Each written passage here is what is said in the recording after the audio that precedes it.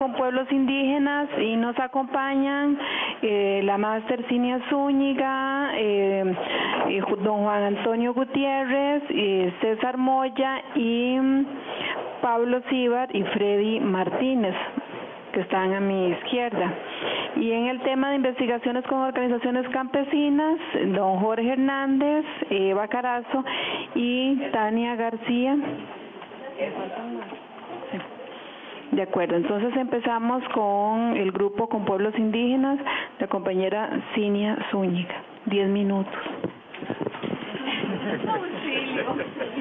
Buenos días, muchas gracias. Bueno, nada más, eh, nosotros eh, acá los compañeros Juan Antonio y Pablo y yo, que somos parte de un equipo en donde está también Luisa Bejarano y Javier Montezuma en ese momento, indígenas, eh, tenemos eh, un proyecto que no vamos a presentar los resultados de ese proyecto porque eso será pronto en una en una en otra sesión. Entonces solamente vamos a comentar algunas cosas de ese proyecto.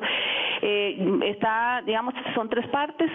Una primera parte que voy a hacer yo que es la contextualización digamos de de ese proyecto pero fundamentalmente de la relación de los pueblos indígenas con la universidad verdad y eh, la otra parte la va a hacer Juan Antonio, que es específicamente ya entrando más metodológicamente al proyecto nuestro, y Pablo, que va a hacer también unos comentarios, eh, eh, sus comentarios y, al final.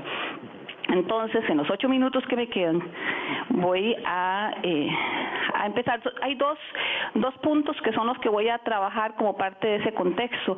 Uno es la relación de los pueblos indígenas con las universidades y la investigación social, y la otra, eh, que he, llamado el giro político en, en los problemas de investigación social. Con respecto a la relación con las universidades, eh, la relación entre la universidad pública y los pueblos indígenas ha estado marcada con su con por los límites que han impuesto históricamente el poder y el saber colonial expresados mediante el Estado republicano y la ciencia moderna, especialmente las ciencias sociales con sus diferentes especialidades disciplinarias y las humanidades occidentalizadas que se desarrollan fundamentalmente en las universidades. Ambas instituciones, Estado y Universidad, han objetivado a los pueblos indígenas considerándolos, en el caso del Estado, como minorías, pobres y atrasados que en el mejor de los casos deben ser educados e integrados a la vida nacional y al sistema institucional por su propio bien, para su protección y desarrollo, es decir, deben ser objeto de, intervención eh, política. En el caso de las universidades, esta objetivación se ha expresado al incorporarlos en sus acciones académicas básicamente bajo la forma de temas y problemas de investigación y mediante no pocos acercamientos en formas tan cosificantes que algunos autores como Boaventura de Sosa Santos llama extractivismo académico. Las diferencias culturales propias de los pueblos indígenas han sido históricamente reconocidas en condición de subordinación y de opresión cultural dentro de la unidad o identidad imaginada que implica el ser costarricense. En ese sentido, a pesar del marco jurídico internacional que ya existe en derechos indígenas y la histórica tradición civilista y democrática que proyecta el país a nivel internacional, el Estado costarricense no refrenda con acciones coherentes los derechos colectivos que han conquistado los pueblos indígenas en su condición de pueblos y que implican necesariamente el principio de autodeterminación. Es decir, la relación del Estado con los pueblos indígenas se mantiene todavía desde una visión predominantemente asistencialista que subordina las prácticas productivas, la visión del mundo, sus sistemas de autoridad, su salud, sus territorios y su educación a la lógica de un Estado-nación que homogeniza en la práctica más que en el discurso toda diferencia cultural, reconociendo su ciudadanía solo en tanto ésta se integre en condición de subalternidad cultural o inclusión subordinada dentro del conjunto de la sociedad no indígena y solo en la medida en que sus demandas no resulten amenazantes para la nación, entre comillas, entendida abstractamente como unidad social y territorial, cuando en la realidad lo que tenemos es una sociedad profundamente fragmentada económica, social y políticamente hablando. De esta manera, por ejemplo, aunque desde los años 70 el Estado costarricense en una avanzada jurídica delimitó y separó para las poblaciones indígenas tierras de reserva para garantizarles supervivencia y aunque más tarde dichas tierras se denominaron territorios para ajustarse al discurso y compromisos del país con la legislación internacional, los territorios indígenas con todo su universo físico, cultural, espiritual y político no han sido del todo reconocidos como jurisdicciones indígenas. Igualmente puede decirse todos, absolutamente todos los demás derechos indígenas. Las universidades también han hecho lo propio en este proceso de violencia cultural y colonialidad epistémica, con estudios y producciones académicas que algunas veces infantilizan y exotizan sus experiencias y prácticas culturales y otras veces opacan e invisibilizan el significado que ellos mismos otorgan a sus experiencias, demandas y luchas políticas cuando en estudios e investigaciones analizamos unilateralmente la información sin considerar la mediación cultural, tratando de insertar y comprender sus planteamientos solo a la luz de la lógica del pensamiento occidental. Así, las poblaciones indígenas y sus culturas han sido objeto de diversas investigaciones, las cuales, si bien han permitido conocer su presencia en diferentes espacios y tiempos, por la externalidad en la que sus investigadores han mantenido a los propios sujetos indígenas, han terminado reduciendo sus historias, su presencia física, sus costumbres y su realidad en general a un problema social, un producto folclórico o un tema académico.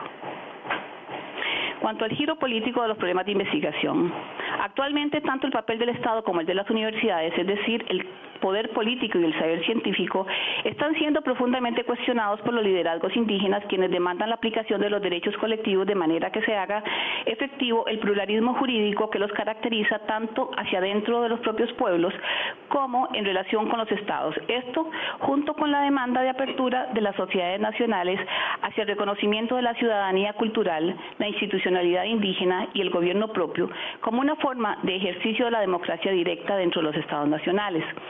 A las universidades les demandan una educación acorde con sus necesidades, prioridades y diferencias culturales, junto con el reconocimiento y protección de la propiedad intelectual de sus conocimientos milenarios y la valoración de sus conocimientos y saberes, así como de sus formas de producirlos, transmitirlos e institucionalizarlos. En términos generales, puede afirmarse que hay un cambio en la construcción subjetiva de los indígenas en tanto nuevos y revitalizados actores sociales en América Latina. Esta resignificación identitaria y política no es casual, responde a múltiples luchas y también a vigorosos aportes de indígenas, intelectuales y no indígenas, luchas con costos humanos, luchas que son cuanto más, cuanto más significativas, más criminalizadas. Aportes que resultan desestructurantes de la lógica de mercado, de la lógica de gobierno y de, democracia, y de la democracia liberal tal como la conocemos en nuestras sociedades. Este giro político, ejercido por los propios indígenas, presiona en términos de la relación con el Estado y la sociedad el paso de la categoría de grupos sociales que responde a la tradicional visión colonial a la categoría de pueblos con todo el estatuto jurídico que ello supone. En términos epistemológicos, este giro político emplaza a las ciencias sociales y a las universidades para que se atienda el paso de objetos a sujetos de investigación y sus pensamientos de mágicos e ingenuos a conocimientos y saberes culturales. En ese sentido, la interculturalidad que reclaman trasciende por mucho la idea de la tolerancia y el respeto a la diferencia contenida en el multiculturalismo o en la interculturalidad acuñada desde la perspectiva liberal. Pues no se trata ahora de reconocer a los pueblos indígenas como un otro diferente o como el, el alter ego desde el punto de vista cultural, ni basta con la inclusión subordinada desde la perspectiva política atender las demandas y propuestas indígenas ha dejado de ser ya una cuestión de reconocimiento de las diferencias culturales, pasando a involucrar cambios en la perspectiva del mundo y de la vida de la sociedad con exigencias fundamentales de transformación del Estado, la educación y la economía. Sus propuestas frente al cambio climático, la defensa de la madre tierra, del territorio, de los recursos naturales. ¿Cuánto? Un minuto. Ok.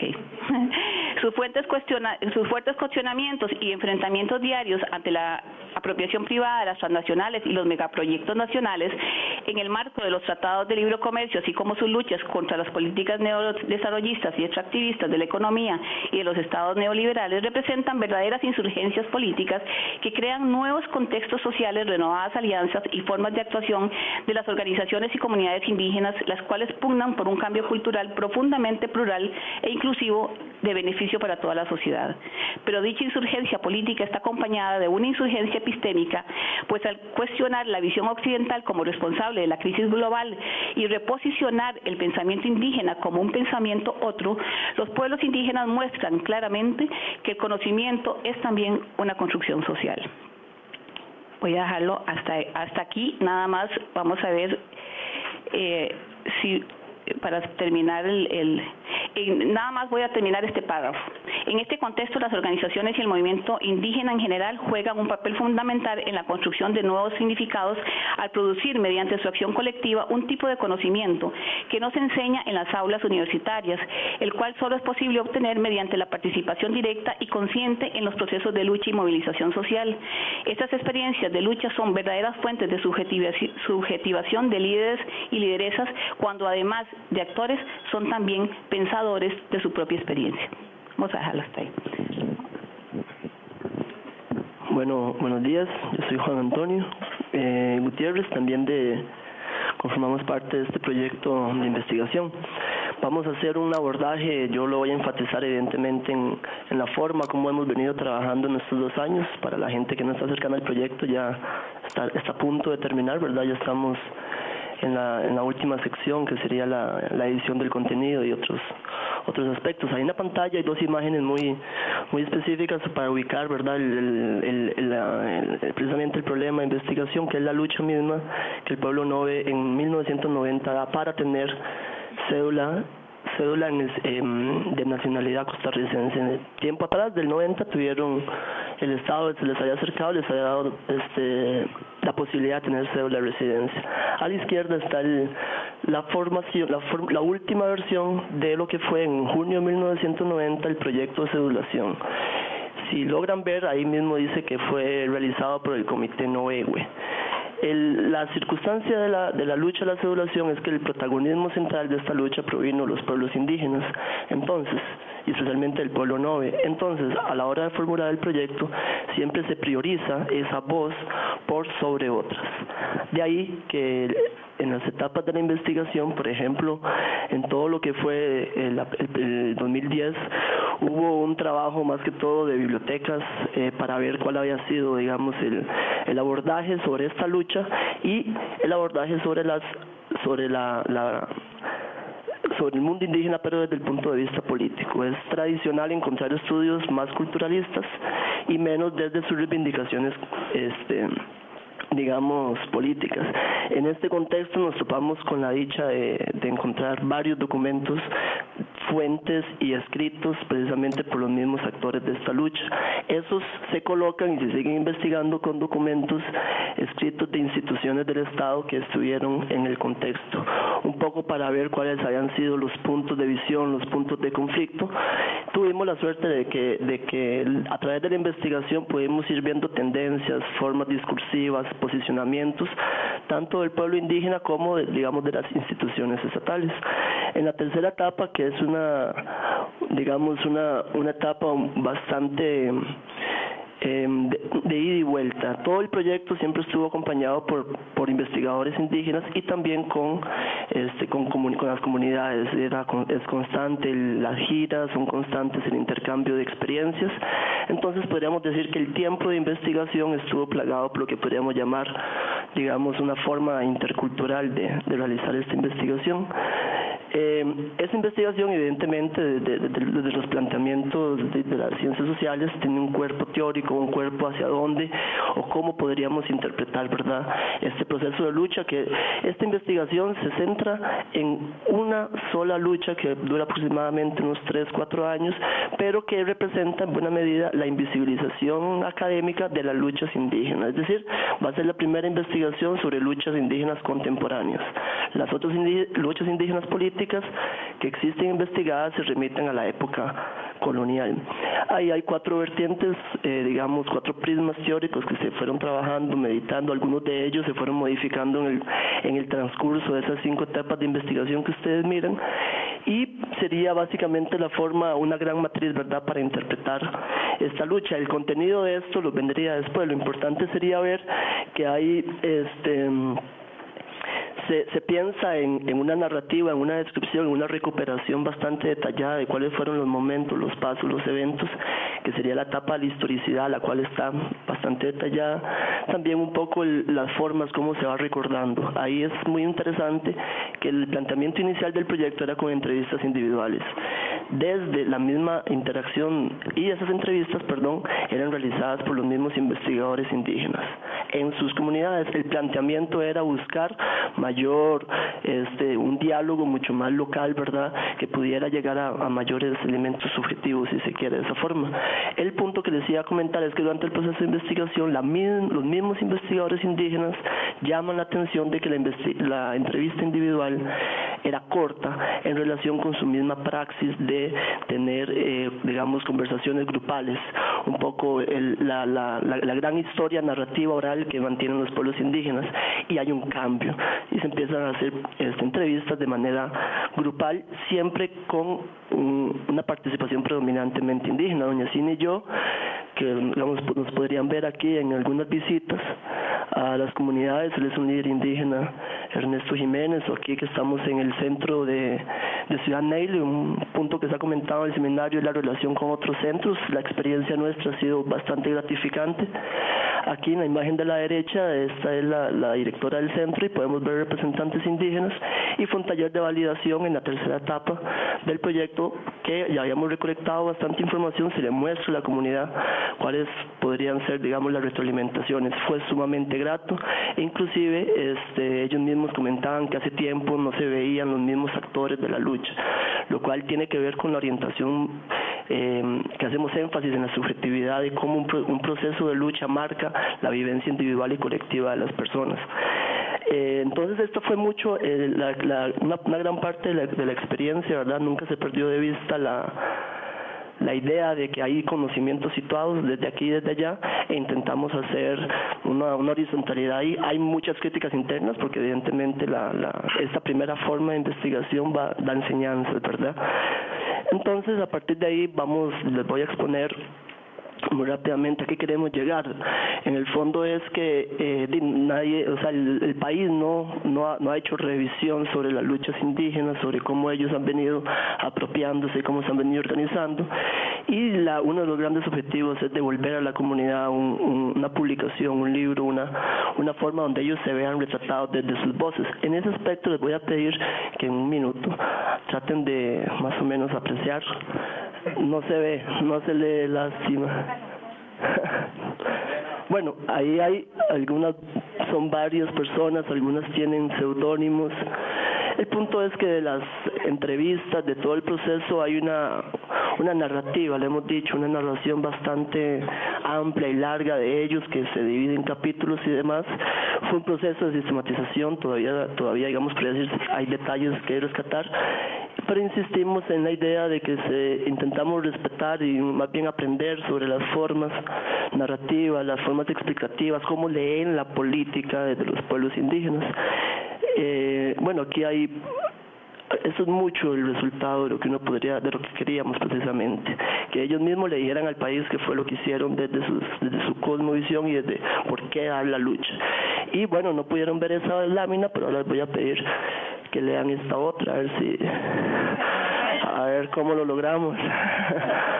La idea es esa, precisamente, entender, entender que este, una narrativa así eh, dice, nos aporta, pero una narrativa con esta forma aporta aún más y en buena medida aquí cada quien va, estamos sintiendo en buena medida el proceso histórico de la exclusión solo que a la inversa, es decir, en este momento la filmina nos coloca un otro cuando históricamente el otro fueron ellos. Un poco la, la, la posición política del proyecto siempre fue esa y la metodología que se construye, que tiene críticas, que tiene eh, fallas, fue intentando ir solventando precisamente esta, esta realidad lo importante aquí es que uno puede detallar palabras como Miguel Ángel, proyecto, eh, por aquí dice asamblea, asamblea legislativa, diputado. Eh, dentro del grupo de investigación hay un maestro indígena, Javier Montezuma, él nos dice que hay palabras contemporáneas que no están, digamos, los pueblos indígenas no las han podido desarrollar porque son contemporáneas. Y eso puede ser bastante el aporte el aporte, o sea, no existen en sus, en sus idiomas, ¿verdad? El aporte, digamos, de esta metodología que un estudiante va a leer Asamblea Legislativa en medio y va a pensar va a pensarse políticamente, lo pensamos en un contexto escolar, lo pensamos en un contexto comunal, donde puedan, donde el libro va a tener imágenes como, perdón, bueno, imágenes como las que mostré hace un rato, ¿ah? No, no, no, imágenes como estas que son del contexto.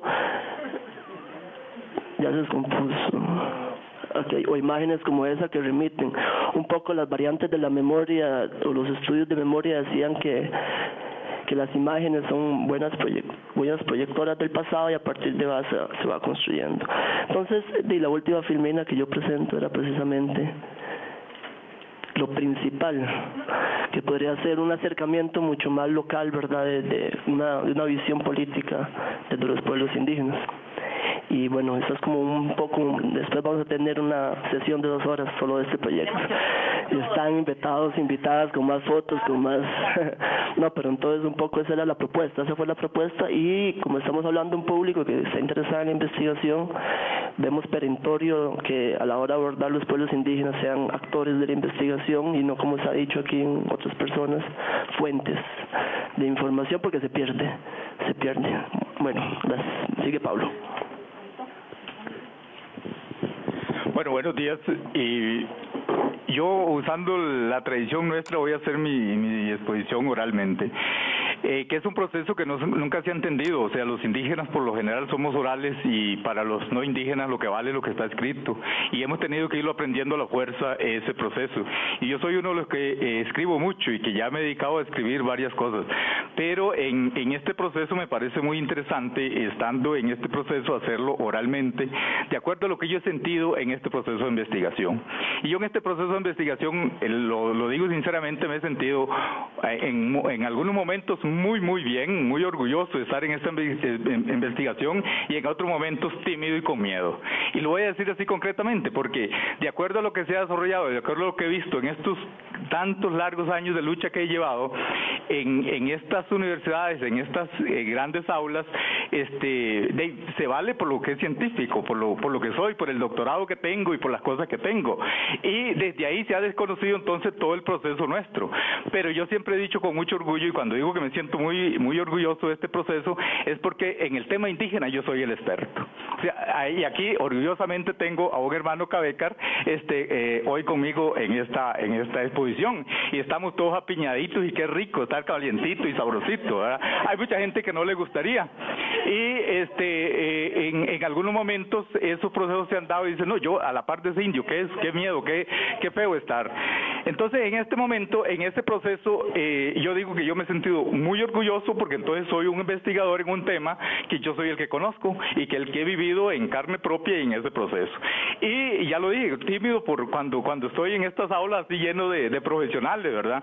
Pero bueno, en, en el otro proceso eh, que me he sentido muy bien también es el apoyo desde mis compañeros, desde ese trabajo de equipo que hemos hecho, desde eh, doña Luisa, de Javier, en otro momento Leonicio, eh, doña Cinia, desde el SIC, o sea, de todo, todo ese es un, un, calor humano muy rico y muy sabroso. Entonces eso pues permite que uno pueda este, ir conversando un poco mejor en este proceso.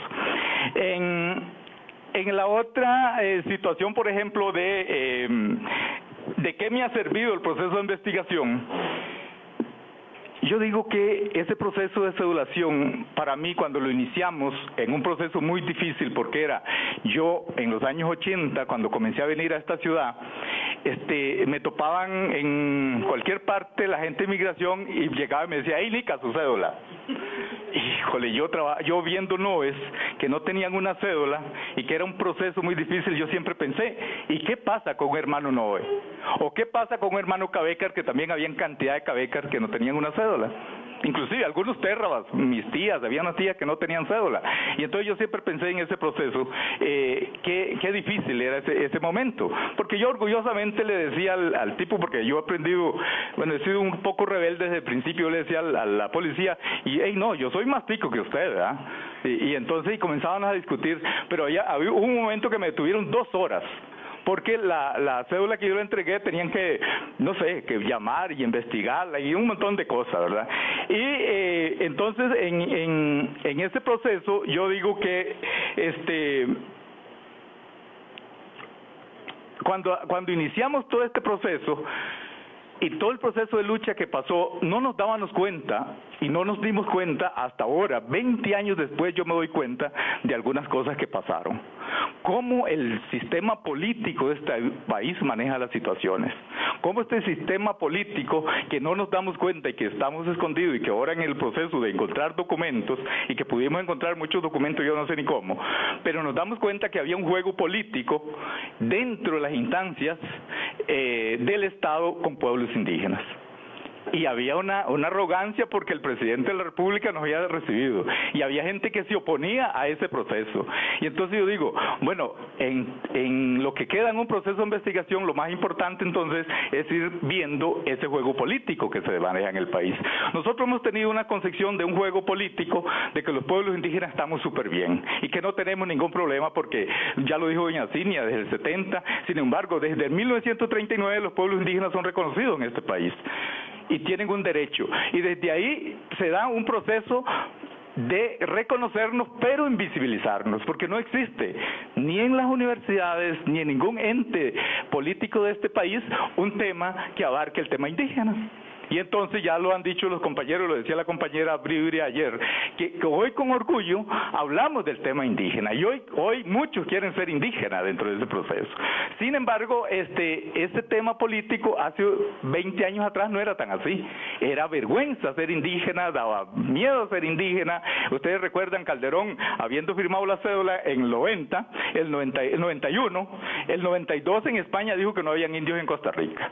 Y ese es un proceso que se da. Ustedes se dieron cuenta que hace poquito el, el, el, vice, el ministro de, de em, Minaet decía que los indios nos oponemos al proyecto de eh, porque queremos volver a andar en taparrao, porque queremos, o sea, estamos retrocediendo la cultura, estamos retrocediendo el desarrollo del país. Y entonces, estas cosas, entonces, en este proceso de investigación a mí me ha permitido eh, poder ir descubriendo otras cosas.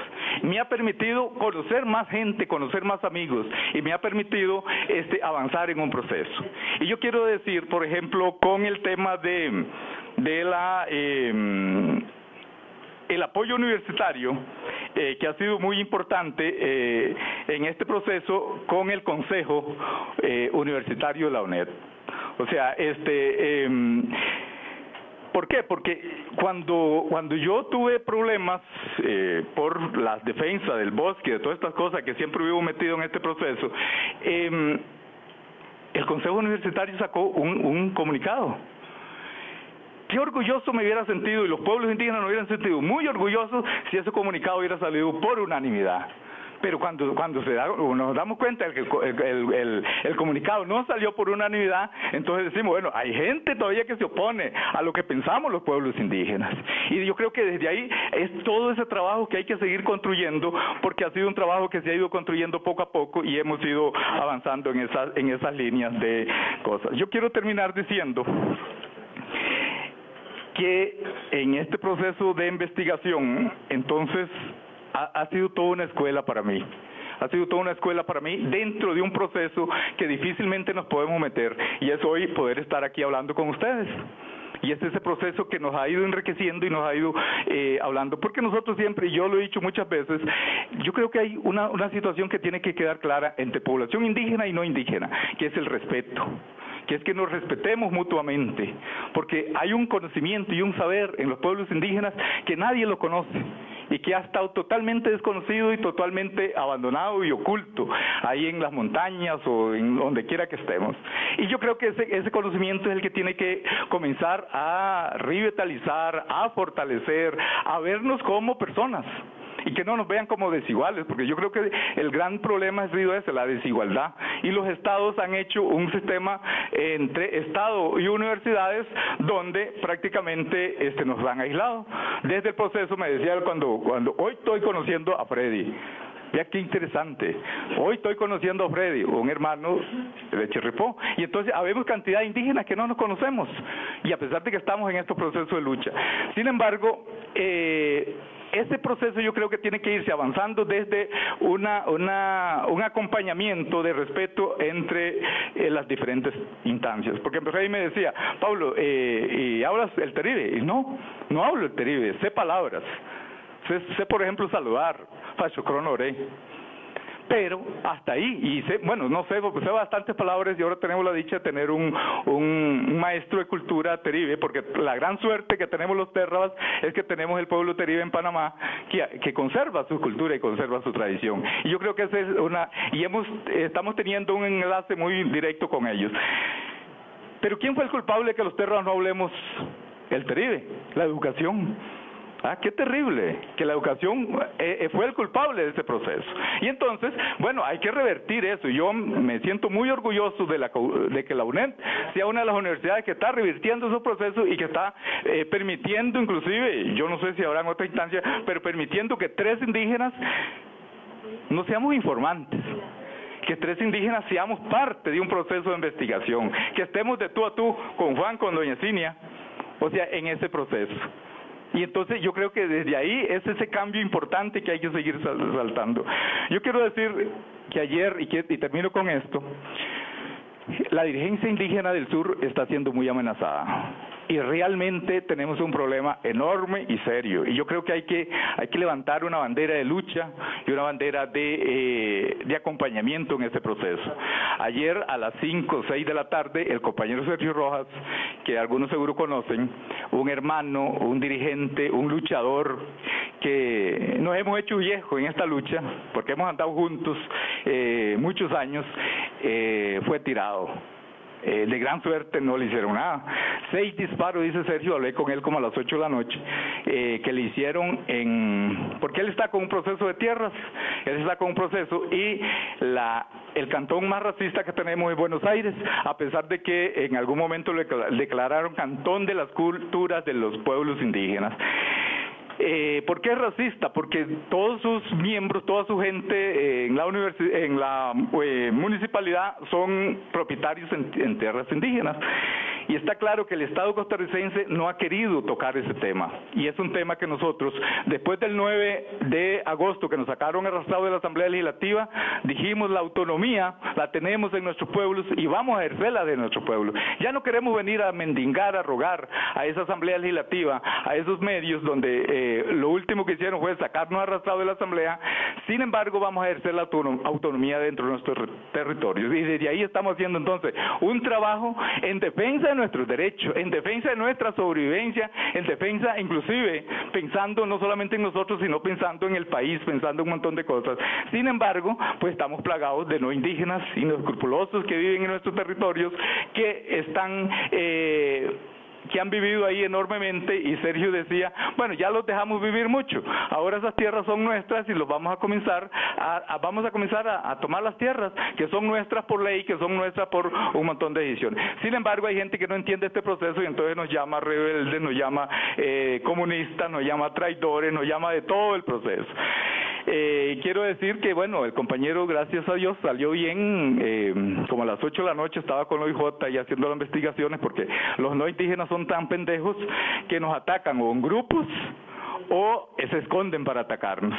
Y entonces este eh, eh, él no pudo ver quién, quiénes, quiénes les disparaban, eh, pero sí este, en, ahí en la comunidad de Seuror, que está muy cerca del pueblo de Buenos Aires, este, él fue atacado y este eso se va a repetir y yo pienso que cada día se va a dar más fuerte y le hemos pedido al gobierno de Costa Rica que intervenga en ese proceso porque no queremos crear la violencia. Y decía Sergio en un tema un día eh, conversando porque los indígenas decían, Sergio, pero usted es malo, usted está atacando a los no indígenas. Y entonces Sergio le dijo, bueno, y si, dígame una cosa, si yo tomo su, su, si yo tomo su área que dije tienes en Buenos Aires, ¿qué me haces? Y le dijo el chaval, ah, te meto una balacera. Entonces Sergio le dijo, vea, nosotros estamos haciendo, no estamos haciendo eso, nosotros le estamos diciendo, desocúpennos, simplemente desocúpennos de buenas maneras, no queremos que ya ustedes estén más, no los estamos tomando a balaceras, porque podrían entonces hacer lo que usted está pensando, porque están en una tierra ilegal, en, un, una tierra que no les corresponde y que por derecho pertenece a las poblaciones indígenas. Yo quiero terminar entonces diciendo esto, me siento muy orgulloso de ser parte del SIGDE, de estar en este proceso de investigación y que me ha servido muchísimo, pero muchísimo. Eh, desde el proceso de eh, recibir un, un pago, donde me sirve para yo seguir más en la lucha. O sea, yo realmente con esto eh, profundizo la lucha y, estamos día a día en este proceso de lucha. Y desde ahí entonces este, nos sentimos con ese proceso importante. De repente si no, no, no recibiera esto, tendría que hacer seguro otras cosas que me, me tendrían que este, eh, desplazar un poco de mis luchas, que las llevo hace muchísimos años. Sin embargo, en este proceso es muy importante. Entonces, eh, bueno, y a veces hablo mucho, a veces doy, digo ofendo sin querer ofender, lo que menos quiero es ofender a los compañeros y quiero que hemos, o sea, lo que hemos dicho es formar un país en conjunto, formar una decisión que nos sirva para las nuevas generaciones que vendrán y que eh, realmente debemos de pensar en ellos. Yo creo que ha, ha, habido un momento en que el país ha dejado de pensar en las nuevas generaciones y ha pensado solo en el momento. Yo creo que ya es tiempo que, que esos eh, universitarios, que toda esta gente que está estudiando y que está trabajando en este tema, pensemos que hay un futuro y que tenemos que eh, seguir construyendo este futuro y no este, solo le echemos la culpa a la naturaleza. Muchas gracias.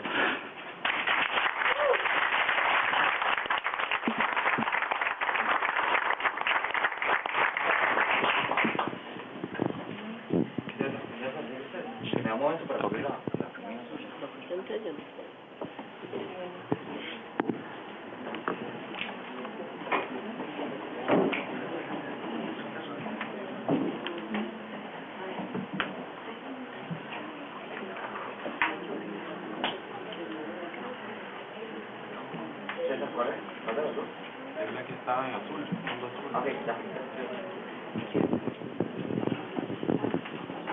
Bueno, mientras eh, se pone la presentación, eh, quiero darle las gracias por estar aquí en esta mañana y compartir con nosotros. Para mí y para mis compañeros del proyecto es un honor y un gusto estar aquí también.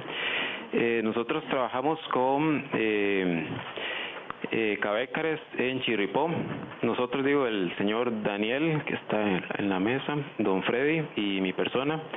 Y trabajamos con, esta sí, trabajamos con el tema de eh, los cantos cabécares. Entonces, a partir de esta experiencia, eh, queremos hacer una, reflexión sobre el para qué investigar con pueblos indígenas y este, sobre las relaciones de poder que muchas veces eh, se manifiestan en la sociedad actual. Entonces, eh, brevemente, bueno, trataré de hacerlo brevemente, eh, voy a hacer una primera parte sobre eh, el para qué investigar con pueblos indígenas. Entonces dice, toda investigación busca la creación de nuevo conocimiento sobre un tema específico. En este caso, la investigación social, el conocimiento se centra en la comprensión, la descripción y la explicación de los fenómenos sociales o de problemáticas de índole sociocultural. La investigación social, de alguna manera, busca, políticamente hablando, trascender la realidad inmediata y ubicarse en los procesos de cambio de la misma, en la comprensión de las problemáticas y en las propuestas conjuntas o posibles soluciones con las personas involucradas en las comunidades o pueblos. El acto investigativo busca abordar una realidad determinada por medio de metodologías apropiadas, técnicas específicas, así como el uso de una teoría. Este conjunto previo nos permite elaborar la base y el desarrollo de la misma. Sin embargo, no podemos dejar de lado que el investigador, como ser que es, con los sentidos que posee y con los sentimientos que transfiere en el proceso investigativo, se convierte en una herramienta más en el proceso investigativo ya que querámoslo o no, sea pertinente o no, en el momento de investigar y de relacionarnos con los interlocutores, interviene e interfiere su propia subjetividad, como son los sentimientos de empatía o de identificación. Para poder mantener un equilibrio y a la vez una distancia necesaria del umbral de la subjetividad, Galindo Cáceres establece que la investigación es, y aquí cito, un proceso de creatividad reflexivo, es decir, el investigar Al investigar acontece lo mismo que en el arte o en cualquier otra actividad creadora, pero con una diferencia sustantiva. El autor creador se observa con atención durante el movimiento de su intención a través del espacio conceptual e imaginario durante la acción indagadora. El investigador es un creador altamente reflexivo, un observador que nunca pierde detalles de lo, que, de lo que le sucede en su interior y de lo que acontece en su exterior.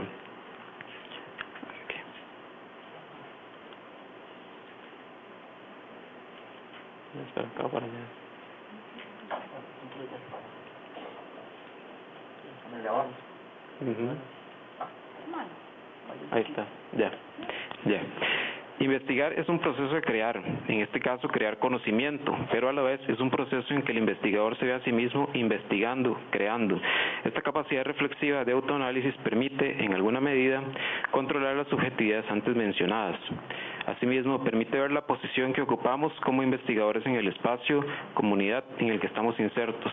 Por ejemplo, en el caso de la etnografía, en el que se busca que el investigador conviva con los interlocutores para así comprender las acciones sentidos, es de suma importancia que el investigador, luego de un día de haber participado de la dinámica comunal, se autoanalice y reflexione sobre su posición, su papel en la dinámica. Pero además se da una doble reflexión ya que a la vez es necesaria que se reflexione sobre lo investigado, lo observado, lo vivido en el día. Consideramos que estas reflexiones permiten al investigador tener control sobre sí mismo y sobre su investigación. De la misma manera, traza los rumbos por los cuales se debe transitar en la búsqueda e indagación de conocimiento, evitando así que nos extraviemos como un barco a la deriva. La investigación, como hemos visto, es un proceso de creación de conocimiento que en nuestro caso, en el proyecto sobre Cantos Cabecar, se busca comprender el modo en que se percibe y construye el origen del mundo por medio de los cantos y las historias tradicionales. Investigar no solo permite la obtención verídica de la información, que es uno de los propósitos, sino que además abre una ventana mucho más grande, la del compromiso de ambas partes, tanto en el tema de investigación como para posibles acciones de gestión sociocultural. Como se menciona en el apartado anterior, la investigación social con los pueblos indígenas nunca se hace exclusivamente por el investigador o el equipo investigativo, ya que se construye perdón, ya sea que se construye, que se consulten libros o personas, siempre se está en constante diálogo con personas, subjetividades, tanto la del investigador como la de los autores y la de los interlocutores. Por tanto, no podemos decir que investigar sobre el tema indígena, sino con pueblos indígenas, con indígenas, ya que estos forman parte del equipo investigativo, aportan sus opiniones, saberes y pensamientos, los que algunas veces no se reconocen y no figuran en los artículos científicos que se realizan. Es pertinente reflexionar sobre el tema del papel que juegan los y las indígenas en los proyectos de investigación. ¿Son simples informantes o cumplen un papel que va mucho más allá? ¿Qué papel se le otorga a estas personas en las investigaciones? ¿Son ellas co-investigadores o informantes? Creemos que está que está con contraparte indígena debe ser vista más allá de su participación como simples relatores o enciclopedias humanas, sino como agentes de cambio, sujetos activos en los procesos de creación, recopilación y análisis de temas que nos competen a todos como parte de este pedazo de tierra en el que vivimos. Como se mencionó anteriormente, la investigación social tiene un trasfondo político que se expresa en la elección de nuestros temas de investigación, en el análisis particular que demostramos por determinada problemática, en la elección de una teoría, en la selección de las zonas y grupos sociales con los que se investiga. Asimismo, esto se muestra en el compromiso ético que se establece con nuestros interlocutores.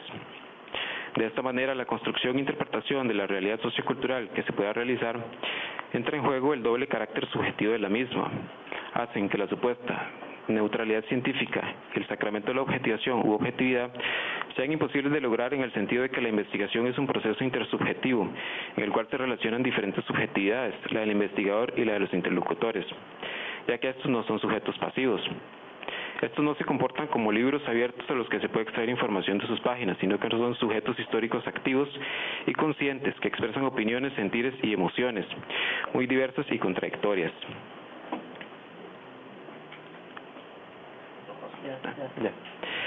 Dichas características, de acuerdo a su particularidad y al momento histórico, introducen elementos significativos que ayuden no solo a ordenar y articular su realidad, sino también a interpretarla. Y dado el caso, a crear o reinventar su realidad, procesos de onto y etnogénesis. Para el estudio sobre la cultura indígena, estos elementos subjetivos y dinámicos, más que obstáculos en el estudio y la interpretación de la misma, nos ayudan a dimensionar el carácter polisémico y multifacético de estas realidades culturales, tanto en sus particularidades como en la diversidad de manifestaciones y formas de construir y entender el mundo y de sus conocimientos. A juzgar por la diversidad en el mundo indígena que se muestra en la inmensa multiplicidad lingüística y cultural en el continente americano, sus especificidades y unicidad de forma de conocimiento y cosmología, en síntesis, estas características indican la existencia de procesos múltiples y de tolerancia a esta actividad cultural, la que hace referencia a un universo plural, polivalente, de la cual estos elementos son inherentes.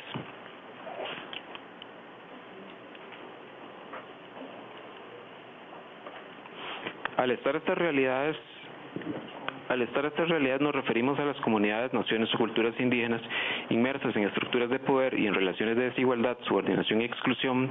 En la antropología y en la investigación misma no se pueden obviar los procesos de reducción homogenización y destrucción de estas realidades otras, ni sus sistemas jurídicos políticos, sus formas de conocimiento y visiones de mundo, sus sistemas de valores y el ámbito político, espacial y simbólico de su cultura, su territorio.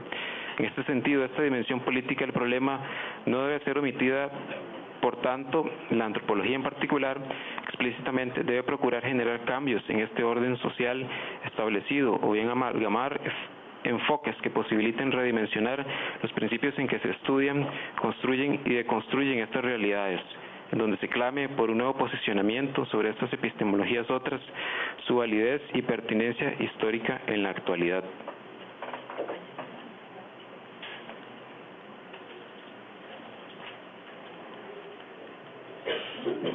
Eh, un momento, pásela ahí.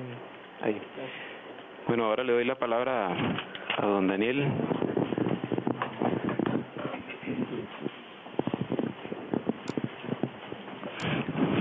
Buenos días a todos y todas. Eh, parte también de la del lo que queríamos compartir con ustedes aquí es eh, una, una reflexión que es parte de la de la ponencia acá, que es sobre la crítica o sobre la colonialidad y crítica postcolonial, ¿verdad? Que son, eh, que sirven como elementos fundamentales, como el contexto fundamental sobre el cual se puede dimensionar, digamos, esta problemática, la problemática indígena, ¿verdad? Eh, en este sentido, eh, solo para recordar, ¿verdad? La colonialidad y modernidad son parte de un mismo proceso eh, que se instaura desde una estrategia de carácter global eh, y que impone un sistema político, el, el sistema capitalista, y se nos impone un sistema que viene desde Europa, que en lo material impone su supremacía y estructura económica y comercial y sus sistemas políticos y eh, desde la esfera del conocimiento eh, nos imponen desde la filosofía, la religión, las ciencias sociales y otras disciplinas, ¿verdad? Eh, retomando un poco los conceptos desarrollados por, por Miñolo, ¿verdad? Y en esta crítica postcolonial, lo importante, digamos, de la, del, de la crítica en este nuevo proceso es el lugar desde donde se enuncia y es precisamente verdad en, este nuevo momento cuando después de los años 40 eh, cuando desde las colonias de ese tiempo se comienza a estructurar un pensamiento, toda una resistencia de este nivel, ¿verdad? Entonces, aquí se definen no tanto la el concepto de poscolonialidad como un concepto relacionado a una, a una categoría histórica, un proceso histórico que también es parte, ¿verdad? sino también el lugar de la enunciación, desde donde se está definiendo un discurso para poder entender esta realidad y sobre todo eh, definir un discurso propio. Entonces, desde estas posturas es interesante posicionarse para poder eh, dimensionar mejor el problema eh, el problema moderno y dentro de este problema general dimensionar la parte eh, de las culturas indígenas como parte de la subordinación en estos procesos, ¿verdad? Eh, dentro de la otro concepto que se maneja es la colonialidad del, del poder, ¿verdad? Que desde esta perspectiva se dividen en, en se divide, o perdón, desde esta perspectiva se tocan cuatro aspectos, que es la colonialidad del poder, la colonialidad del saber, la colonialidad del ser y la, la colonialidad eh, sobre los elementos de la naturaleza y de la vida misma, ¿verdad? Desde, esta, desde estas perspectivas se puede también visualizar mejor y focalizar mejor todas estas eh, temas que son eh, muy actuales en la investigación y sobre todo la temática indígena y la, estas nuevas formas de conocimiento, nuevas formas de entender y hacer eh, y hacer la realidad, la realidad cultural o estas nuevas formas eh, epistémicas de hacer y conocer y, eh,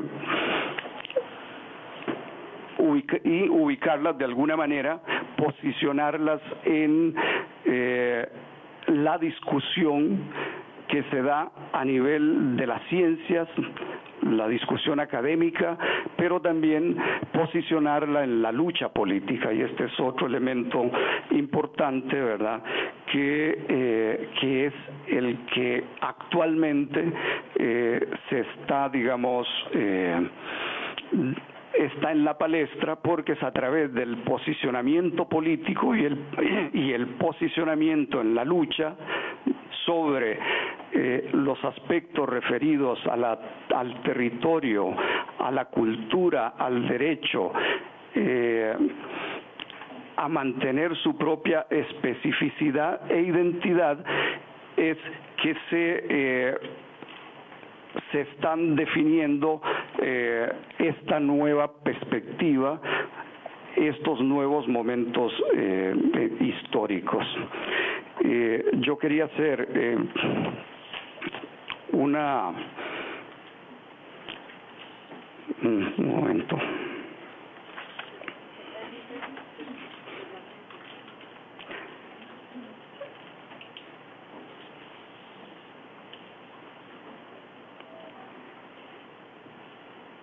Refiriéndonos al, retomando algunos de estos elementos y reflexionando un poco sobre nuestro proyecto que estamos realizando sobre la cultura cabecar, sobre la participación también de,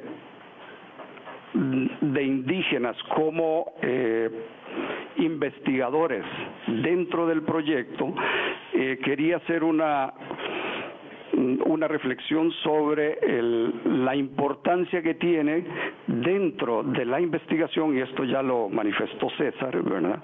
Eh, sobre el sí, la participación del indígena no como objeto de estudio, sino como sujeto eh, participativo, sujeto activo, que eh, de alguna manera cambia la perspectiva no solo de cómo se ven a los pueblos indígenas o a la participación indígena dentro de la investigación, sino también sobre los contenidos mismos que se, eh, que se tienen de esta investigación. Eh, creo que es importante y ahora Freddy eh, nos va a hacer una una breve reseña o un breve comentario sobre algunos alcances que ha tenido el proyecto nuestro en cuanto no solo a, los objetivos, sino a la función que viene desarrollando en las comunidades. Eh, Freddy nos va a manifestar algunas acciones concretas que, hemos desarrollado y que son parte de la, de la actividad o de las actividades que se han desarrollado en el proyecto y que han activado eh, mecanismos que están a veces que no se ven, que están detrás, ¿verdad? Y que han motivado la participación de otra gente y ha sido muy importante porque a través de estas actividades y del proyecto mismo que estamos desarrollando, ya que estamos trabajando sobre los cantos, pero no solo exactamente sobre los contenidos de los cantos, sino que colateralmente a esto se dan eh,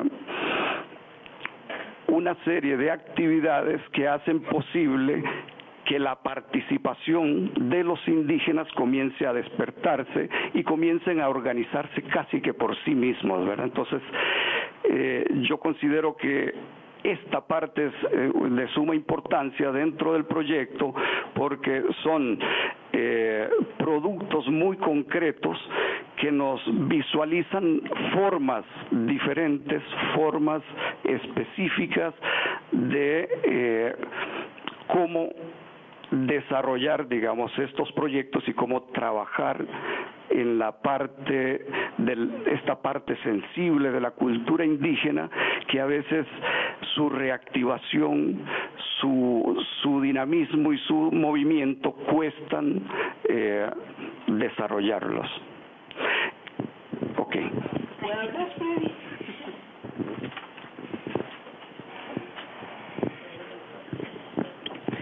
İşte başkena Jizde unte bas hirdia hiska. Hire sate sate himagesio ditse ka pakere ditse tire bena heshimar sate nya oroi hame manegesi hewariki. Base dice sate bena. Eh, ¿Cómo amanecieron? eh, que hoy estoy presente con ustedes unidos. Eh, eh, vamos a eh, repartir la experiencia de Cabecar hoy día. Por lo menos vamos a, a ver en qué estamos trabajando en el proyecto, o sea, en nuestro proyecto de los Cabecares. Eh, nosotros los cabécares todavía todavía nosotros mantenemos la cultura el costumbre tradiciones lo mantenemos casi 100% y y siempre estamos en la lucha. Hace hace 10 años para atrás, casi los cabéqueres, ellos quieren como, como perder la idioma y sus costumbres y sus cantos. Y, y después de este, yo empecé a investigar y a hablar por todo lado de mi territorio chirripo me fui en la escuela, escuela, escuela, escuela a investigar, a ver cómo estamos con la cultura. Y entonces eh, lo vi que no, que estamos mal porque todos los maestros van aquí para, para adentro, entonces ellos no se preocupan por la enseñanza, la enseñanza propia de cultura, sino que solamente en castellano, ¿verdad? Bueno, entonces yo empecé a hablar con los mayores poco a poco, poco a poco. Al final logré para ver cómo podemos volver otra vez, recuperar propia cultura de los cantos, tradiciones, costumbre, todo eso, ¿verdad? Hoy por hoy yo me siento me siento muy orgulloso con el proyecto que estamos haciendo nosotros. ¿Por qué? Porque nosotros empezamos con el proyecto por los cantos y por las historias. Y, y eso mismo, las historias, nos vamos a llevar para nuestros hijos en Chirripó, para los estudiantes y para todos. Y, yo me siento orgulloso y me siento bien porque eh, mi comunidad allá en Chirripó ya saben lo que yo estoy haciendo con, con mis grupos en Proyecto de los Cantos. Ellos ya saben.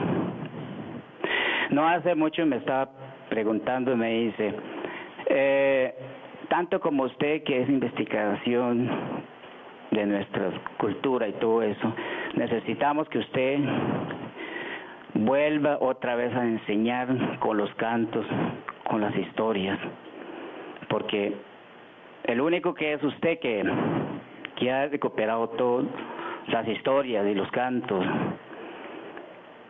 entonces necesitamos que usted vuelva otra vez. Entonces, poco a poco, no hace mucho, hice reunión con la gente allá. Yo hice un rancho cónico. Llegaron un montón de gente, llegaron 50 dice indígenas, ¿verdad? Entonces empecé a hablar con, con ellos, a analizar las cosas todo bien. Al final me dice que, ¿por qué usted no hace grupos para que nos enseñen? No, nosotros estamos todavía haciendo el, proyecto, a ver si podemos meter para adentro para enseñar después. Y todavía me dice, no, nosotros necesitamos que usted propiamente que venga a enseñar. Y así vamos a aprender. Bueno, eh, poco a poco, al final quedamos reunidos y al final quedamos ya acuerdo que yo voy a enseñar y, voy a voy a dar este taller con ellos.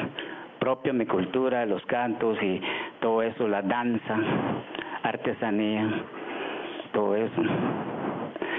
Entonces yo me pongo a pensar, nosotros los, los tenemos todavía muchas historias, muchos cantos y tradiciones, costumbres. El problema es que cuando se cuando empezaron la educación, entonces no no empezaron directamente los dos, la educación y la educación de Cabeca de Cultura, sino eh, eh, empezaron más fuerte con la educación español, ¿verdad? No, no, no, no propio cultura. Y al final se dieron cuenta que es muy importante de nuestra cultura. Entonces ya, hoy por hoy, ya ellos estaban interesados otra vez con propia cultura y yo me siento contento porque la verdad digo yo, ah, toda mi gente quieren otra vez aprender nuestra cultura propio, los cantos, la historia y todo eso, la artesanía, todo lo que es. Entonces, yo, o sea, yo pienso, gracias con, con el proyecto, porque nosotros empezamos con el proyecto con César y Daniel y yo, nosotros anduvimos por todos lados, investigando por lado Chiquiali, Chiripó, arriba, abajo, Pacuar, por todos lados, y toda la gente le interesa. Y entonces yo pienso que ojalá que volvemos otra vez a, a mantener nuestra cultura y mantener todo eso.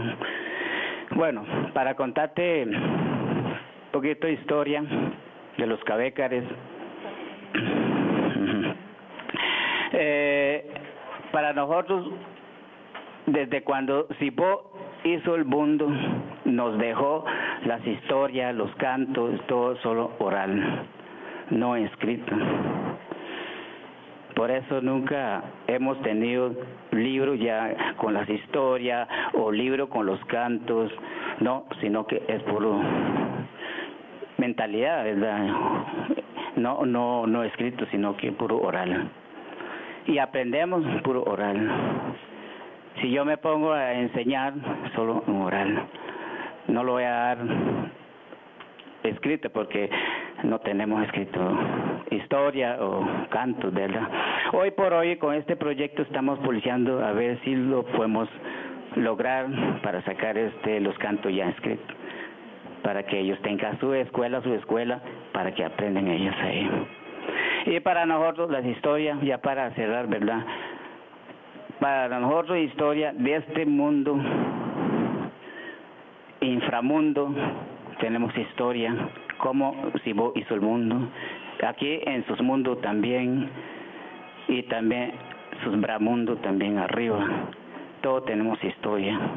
Y cada ese mundo de aquí abajo tiene su espacio, los espíritus, todo de aquí arriba tiene su espacio de los espíritus, y nosotros estamos en medio. Y, en medio, y también hay que saber qué dejó Sibú con nosotros también a vivir. ¿Cómo? árboles, los ríos, eh, plantas, bueno, todo, ¿verdad? Los animales, y eso tiene canto. Todo eso tiene canto. Ya para cerrar, nada más dos palabritas, nada más voy a cantar. Eh, para el mundo, ¿verdad? Y para nosotros todo. Hey yo, hey yo, hey yo, que Hey yo, hey yo, hey yo, que, hey yo, que, hey yo, que, hey yo, que, hey yo, que, ya que nadie, du que nadie, tan que nadie, hey yo, hey ho ho ke hey yo ke kasi ke lang ke teri ba lo e ke kasi ke lang ke sik sang ke lang ke ho ho ke hey yo ke kasi ke lang ke teri ba kulo e sik sang ke lang ke es el canto para el mundo cuando Sibo hizo el mundo verdad y entonces Sibo empezó a hacer inauguración y el ayudante más importante se llama Itzokegre, lo cantó a principio. Bueno, muchas gracias.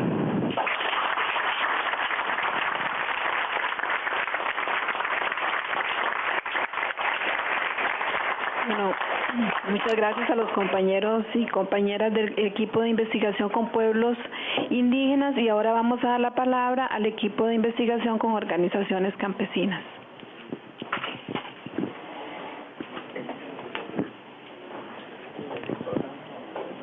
Muy buenos días. Gracias, Freddy. Qué belleza. Muchas gracias por compartir.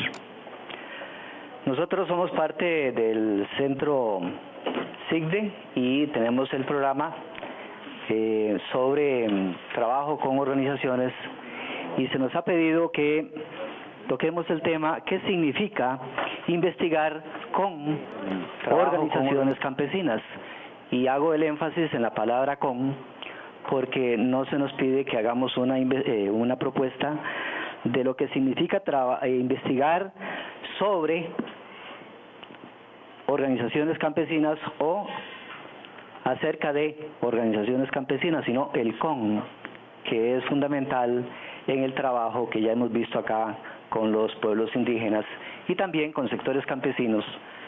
El con es determinante en el enfoque del trabajo.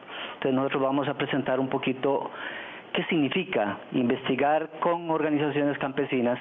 Por supuesto, son algunas ideas de camino, ¿verdad? Estamos caminando en este proceso y eh, tengo el gusto de tener acá conmigo a las compañeras Tania García y a Eva Carazo, que yo les voy a pedir a ellas que asuman la presentación por las cuestiones del tiempo. Solamente un detalle, vi el, el, el documentito ese que tienen ustedes ahí sobre el PROICAM, nada más al final eh, hay una omisión, culpa nuestra ahí de las carreras tal vez, de que no aparece eh, la licenciada Sonia Angulo y la máster Ilse Gutiérrez, que también son parte del equipo del PROICAN. Bueno, entonces voy a pedirle a los compañeros que, que procedan con la presentación sobre qué significa investigar con organizaciones campesinas. Buenos días.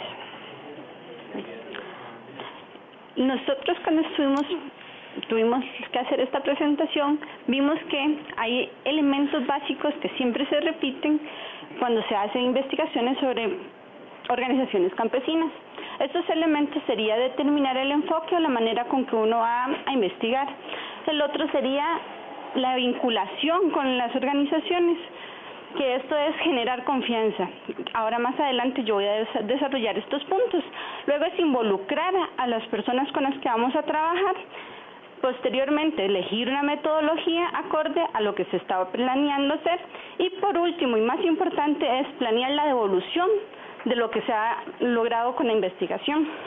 Entonces sería el enfoque, vinculación, involucramiento, metodología y devolución. Entonces, el primer elemento sería la manera de cómo abordar el tema. Hay varias teorías o perspectivas teóricas. Nosotros nada más proponemos como la más este, utilizada, la marxista, el populismo, neopopulismo y el funcionalista. Estas perspectivas nosotros las desarrollamos en el documento que se ha puesto en la página de web porque no es no es tan necesario que las desarrolle sino que las mencione para que tengan en cuenta que es muy importante cuando se hace una investigación saber desde qué teorías o perspectiva teórica estamos avanzando Luego, la vinculación o generar la confianza. Es un elemento muy importante vital para las investigaciones porque no se contempla, no se contempla el tiempo que se le requiere o los productos que hay que hacer para generar esa confianza con la organización que se va a trabajar. Y eso toma tiempo y toma recursos y nunca lo tomamos en cuenta y si no se tiene la confianza necesaria con las organizaciones o la población, no se va a tener los resultados óptimos que se está buscando. Luego, el involucrar a los actores es muy importante porque son ellos los que tienen las capacidades, la fortaleza, saben cuáles son sus necesidades y cómo resolverlo a partir de ellos mismos. Nosotros los investigadores somos como el medio, pero ellos son quienes tienen la fortaleza para que después de que se termine la investigación, esta pueda seguir manteniéndose a largo plazo y no muera en el primer intento la selección de metodología. Necesitamos una metodología que involucre y vincule a la población. Entonces, nosotros proponemos dos estilos, la que es la investigación, acción participativa y la educación popular. Esto, todos estos temas están desarrollados en la ponencia por, aquí, por aquello que tengan interés podamos este, consultarlo y desarrollar los puntos. Y por último, la devolución de resultados, que es lo que se dijo ayer y se ha dicho en otros en otros momentos es vital hacer una evolución con la población que se trabajó pero no solamente es hacerla y decir bueno poner un PowerPoint esos fueron los resultados e irnos no es hablar con la organización ver cómo ellos pueden poner el tiempo y los recursos para que se pueda hacer esta evolución como una acción vinculante con ellos mismos y con sus agendas este tipo de evoluciones también pueden ser talleres, también pueden ser procesos de capacitación y entre otros. Y lo más importante es que la evolución contemple cómo se pueda fortalecer la dinámica interna de las organizaciones. Yo les voy a, comentar un poco, tratamos de diferenciar y de aterrizar también algunas de las implicaciones epistemológicas y metodológicas de investigar con organizaciones campesinas pensando que no es lo mismo que investigar con pueblos indígenas o investigar con juventud o investigar eh, con, distintas poblaciones o diferentes temas. En, el PROECAM, si bien tenemos diferentes proyectos, eh, discutimos en conjunto cuáles son algunas de las lecciones que hemos aprendido en el proceso de, investigar y de trabajar con organizaciones campesinas. ¿Qué tiene de particular esa población con la que nosotras eh, trabajamos? Em, en el tema eh, de implicaciones epistemológicas, por ejemplo. No, al revés, vamos a ver. Acá. Eh, es decir, la forma en que se entiende el conocimiento y se construye el conocimiento, eh, un, elemento básico es que eh, cuando trabajamos con organizaciones campesinas tenemos que partir de que el conocimiento válido no es solo el conocimiento académico. Estamos trabajando con poblaciones que puede, es muy probable que tengan bajos niveles de escolarización, que en algunos casos eh, ni siquiera eh, tienen procesos de alfabetización porque en nuestra Costa Rica de gran cobertura educativa tenemos todavía personas que, que no se eh, comunican y no piensan en la lógica de alfabetización, sino más en lógicas verbales. Eh, y más allá de, de las formas de comunicación, algo básico al acercarnos a trabajar con organizaciones campesinas es partir de un respeto y un reconocimiento de que el conocimiento no lo tengo yo necesariamente, no lo tengo solamente yo, sino que el conocimiento puede expresarse de formas diferentes, eh, está en distintos lugares y no solamente la, racional, la racionalidad académica es la que vale. El conocimiento de la vida cotidiana es igualmente válido, el conocimiento de los procesos sociales, de los procesos organizativos que han vivido las personas campesinas es un conocimiento válido que nos interesa recuperar en el proceso de investigación. Y también partimos de que es posible ir construyendo ese conocimiento en la marcha, durante el proceso de investigación, en el desarrollo de los proyectos. Otro elemento básico que, nos ha parecido importante de compartir con ustedes es la necesidad de clarificar los conceptos y la forma en que se entienden, saber de qué estamos hablando. Eh, y en ese tema en particular eh, nos parece importante porque probablemente han escuchado la frase, ah, es que yo, mis abuelos eran campesinos. En Costa Rica todos tenemos familia campesina. Es un tema políticamente correcto. Digamos, nadie va a hablar en contra de, la alimentación y de la agricultura. Nadie va, a, bueno, en algunos casos hay, hay alguna gente, yo recuerdo a, un presidente del Banco Central que dijo, bueno, los campesinos que busquen otras ocupaciones es un sector que debe desaparecer. Esto en el contexto en los ochentas, en el contexto de los programas de ajuste estructural, pero fue una eh, digamos que una excepción a la regla. Usualmente eh, todos decimos, pues claro, linda la, la, población campesina, el tema del campo, muy importante la alimentación. Nadie va a hablar en contra de la soberanía y la seguridad alimentaria. Todo el mundo va a decir, claro, es muy importante defender esos temas.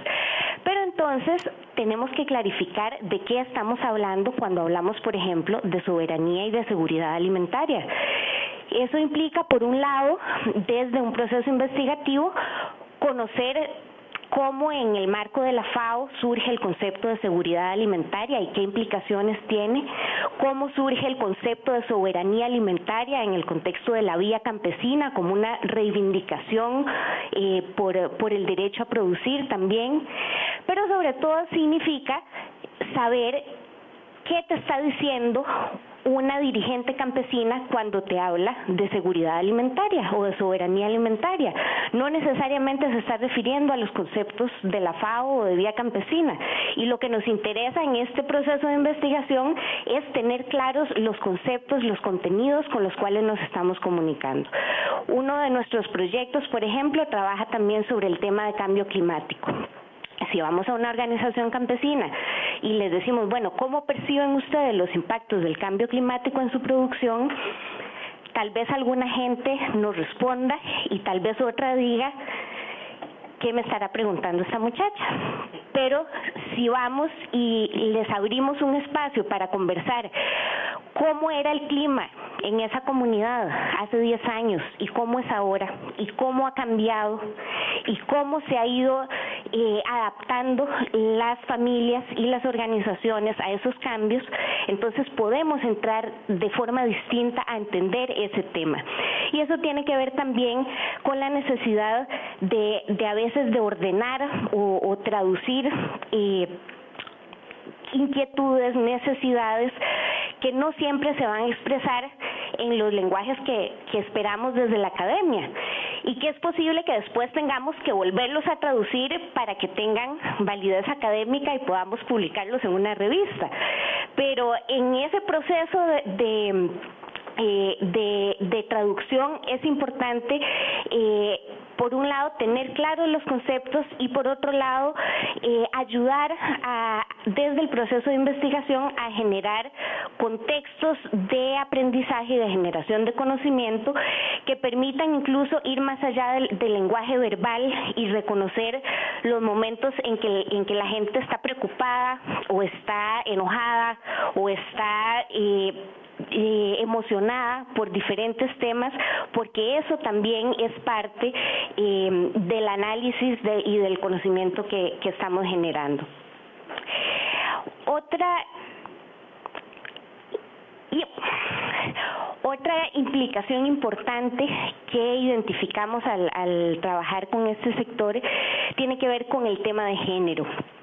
Eh, las, las sociedades rurales en general y las organizaciones campesinas en particular eh, con frecuencia son bastante conservadoras y con frecuencia expresan eh, de forma muy transparente las estructuras patriarcales que llevamos metidas desde que desde chiquiticas y chiquiticos. Eh, y eso se expresa en, en, distintas formas en las organizaciones campesinas. Se expresa lo interno, por ejemplo, eh, en que encontramos procesos en que es en épocas recientes cuando las mujeres campesinas empiezan a asumir puestos más visibles y de mayor dirigencia y de mayor posibilidad de decisión a lo interno de las organizaciones. Eh, si ustedes recuerdan, por ejemplo, la madre de todas las marchas que tuvimos hace poco, una marcha de organizaciones campesinas eh, reclamando por el cobro del impuesto de bienes inmuebles la lista de dirigentes de las organizaciones que daban las conferencias de prensa que condujeron esa negociación eran en su enorme mayoría hombres, porque son todavía hombres los que están asumiendo esos puestos de dirigencia. Y las mujeres es en épocas recientes que empiezan poquito a poco al interno a asumir esas esa posibilidad de también dar su visión en el marco de la organización campesina. Y pensamos que eso es algo que tenemos que analizar, que es parte del trabajar con organizaciones campesinas. Pero pensamos también que eso sucede cuando nos acercamos a trabajar con ellas no es lo misma, no es la misma forma eh, en la cual se inserta a trabajar con una organización Jorge o Gustavo, que son parte del PROICAM, a la que lo hacemos Tania o Sonia o Ilse o yo, porque nosotras somos mujeres y con frecuencia, bueno, yo no, no, no me atrevería a decir que con frecuencia, pero en alguna ocasión eh, ha, ha, habido alguien que ha pensado, bueno, nosotras vamos a acompañar a Jorge a la presentación y a pasarle las filminas, pero el, el que sabe y el que está haciendo la investigación es él y nosotras vamos de equipo de apoyo. Y cambiar ese imaginario y, y, y, y ganarte el reconocimiento eh, de los liderazgos de la organización es distinto si sos mujeres que si sos hombre. Y eso es parte del proceso de investigación también, es parte de trabajar con esta población. Eh, otro tema tiene que ver con eh, los procesos internos, personales y dirigenciales que ocurren a lo interno de las organizaciones campesinas. Con frecuencia puede ser más fácil si queremos saber eh, qué piensa UPA Nacional, por ejemplo, bueno, vamos a hablar con Guido Vargas, que Guido es un reconocido dirigente de UPA Nacional eh, y que tiene una, unas posiciones muy claras sobre el proceso de la organización. Y eso es válido en, en, en el momento de investigar con organizaciones campesinas nuestro apunte va en el sentido de que también es necesario hablar y entender qué están pensando otras personas de la organización, por ejemplo, que tal vez no tienen, no han tenido los mismos procesos personales al interno, que tal vez no necesariamente están asumiendo los mismos puestos de dirigencia, pero que son también parte de la organización campesina. Pensamos entonces, por ejemplo, en la necesidad de, eh, reconocer esa diversidad que existe a lo interno de las mismas organizaciones y de reconocer los procesos que, ellas mismas tienen.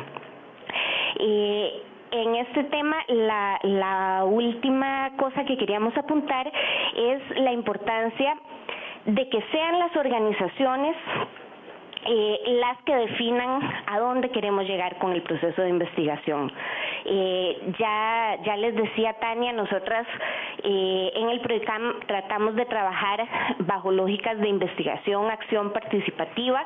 No siempre logramos desarrollar todos los, los postulados y las prácticas metodológicas, pero, pero es un esfuerzo y un intento que tenemos presente y parte de él implica que el objetivo de la investigación no lo definimos en una reunión cerrada entre el equipo del PROICAM sino que procuramos que la investigación resulte útil para las organizaciones con las que estamos investigando y con las que estamos trabajando.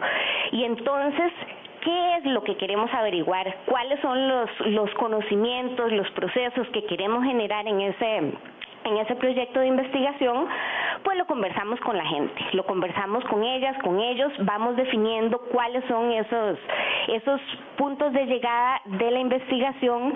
Eh, en, en, una lógica en la que tenemos que respetar la autonomía de las organizaciones y en la que tenemos también que mantener una posición de respeto, pero no, no de apoyo ciego, digamos. Tenemos también que tener la posibilidad de reflejarle a las organizaciones problemas internos que tienen, dificultades, retos eh, y poder eh, también ayudarles a hacer un, autoanálisis crítico que les permita irse fortaleciendo en el camino e irse transformando en ese proceso. Algunas implicaciones más metodológicas. Es, es difícil, digamos, separar una cosa y la otra, pero algunas implicaciones más metodológicas de, de trabajar eh, con organizaciones campesinas. Eh, por ejemplo, el tema de la generación de confianzas, que, que ya mencionaba Tania también. Y me perdí en mi documento aquí eh, de tener claro que hay este esa necesidad de incluso a veces de de revertir los procesos eh, en que la gente ha sentido que llegan, los investigadores se llevan la información y no volvieron nunca más, entonces hay que volver eh, a, a generar la posibilidad de compartir los procesos organizativos que con frecuencia tienen que ver con temas muy internos también aprender a adaptarse a los ritmos y circunstancias de las organizaciones. De pronto planificaste un taller eh, y hiciste un gran esfuerzo de convocatoria, ahí se iba a sacar el conocimiento.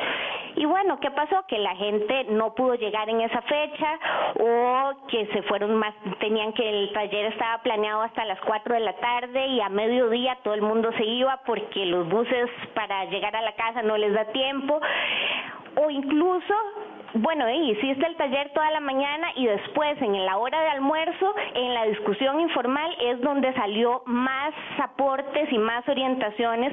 Y entonces esos ritmos y esas circunstancias son algo que tenemos que tener presente y que tiene, y a la hora de planificar los proyectos, Tratamos entonces de no pensarlos en función de actividades muy específicas, sino más bien de facilitar espacios eh, donde, donde se puedan ir generando y, nos vayamos acercando a, los objetivos y también eh, de, articular los proyectos alrededor de esos objetivos, de, esas líneas a las que queremos llegar y no necesariamente del procedimiento por el cual vamos a llegar ahí, porque ese procedimiento puede ir cambiando en el camino y tenemos que tener la flexibilidad de, de aceptar que vaya cambiando.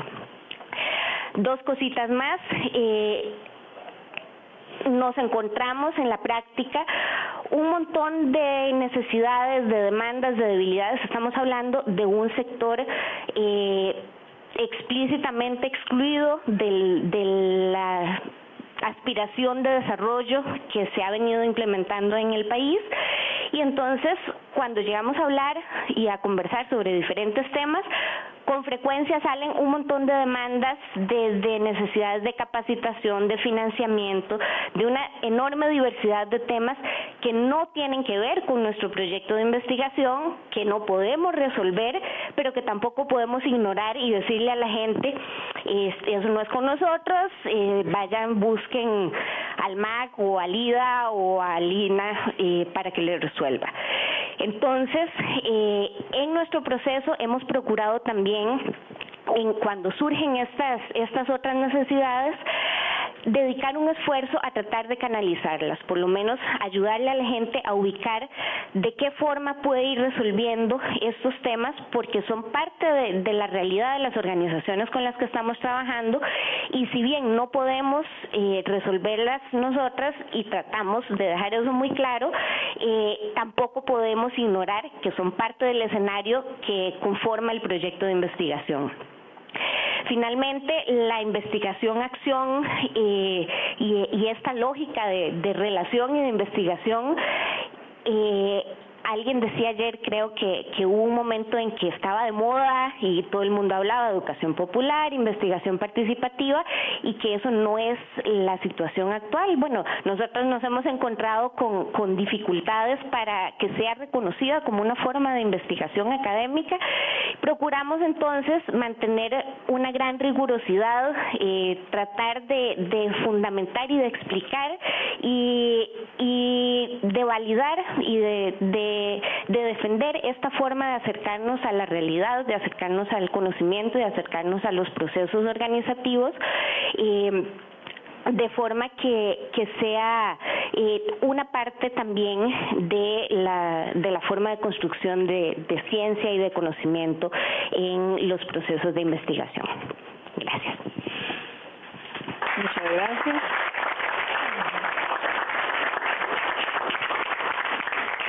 Bueno, antes de darles la palabra, yo quiero hacer un breve comentario, tal vez una llamada de atención sobre algunos elementos que se han tratado en las exposiciones eh, y que tienen que ver con la responsabilidad de la universidad pública, ¿verdad? Estos temas son responsabilidad nuestra, de universidad pública que se eh, rinde, que, que da frutos a, al país, a las organizaciones para su desarrollo. Y si no lo hacemos como universidades públicas, bueno, eh, ¿en, qué, en, qué tema, ¿en qué nivel de, de avance estaríamos en esta temática? Cuando hablamos de cédula, ¿verdad? Uno se remite, bueno, se imagina la cédula, de sí, pero ¿para qué sirve la cédula? ¿Cómo nos identifica la cédula en la construcción de la ciudadanía? en sujeto de deberes y derechos. Pero además, eh, yo quisiera llamar la atención en el tema de la transversalidad.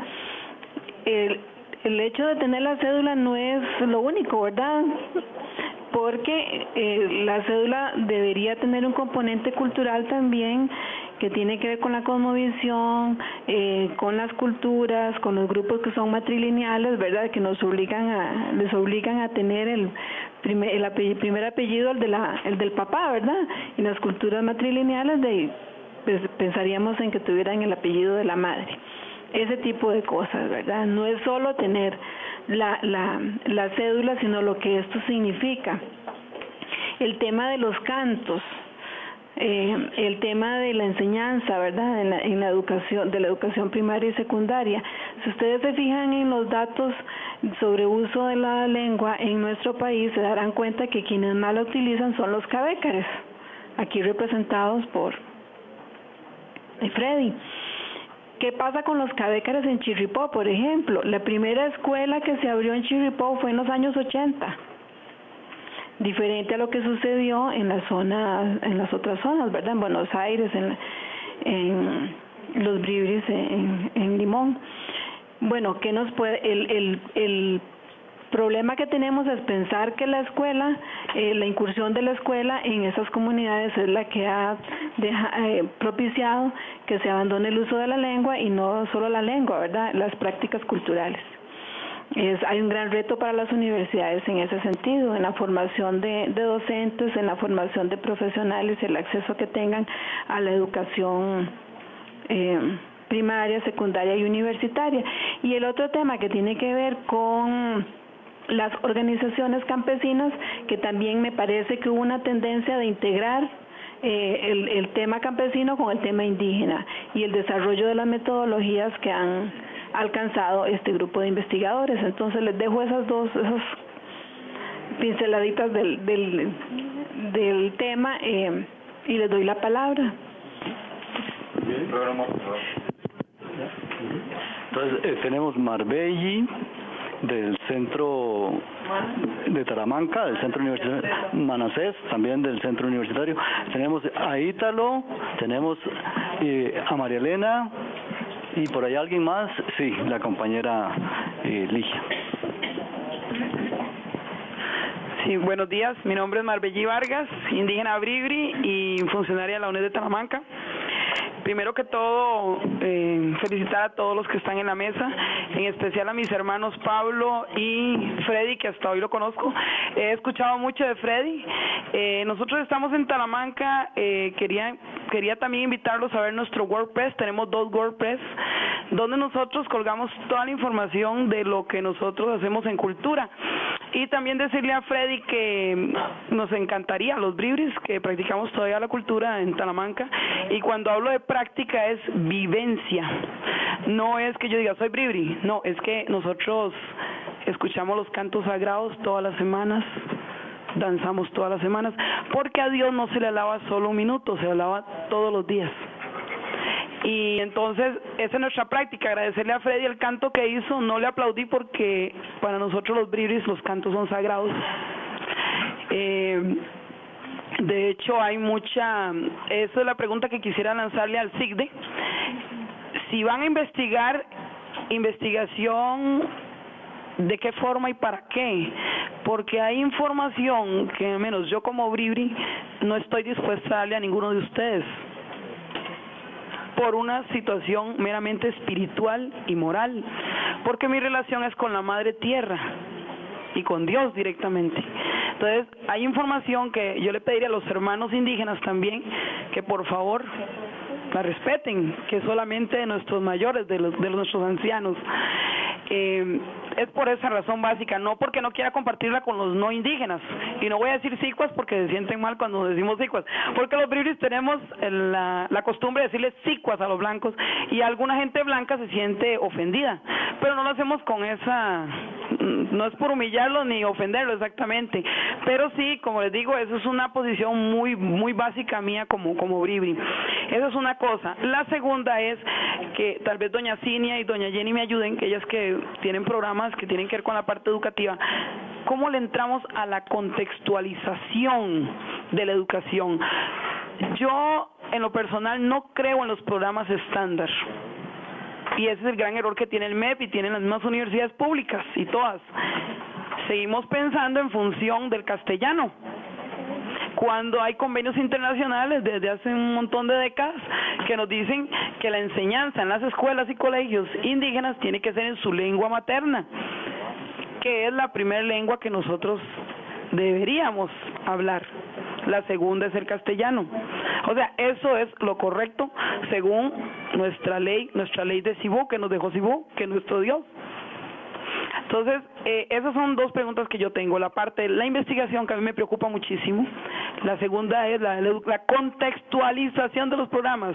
No seguir haciendo carreras universitarias, eh, ¿verdad?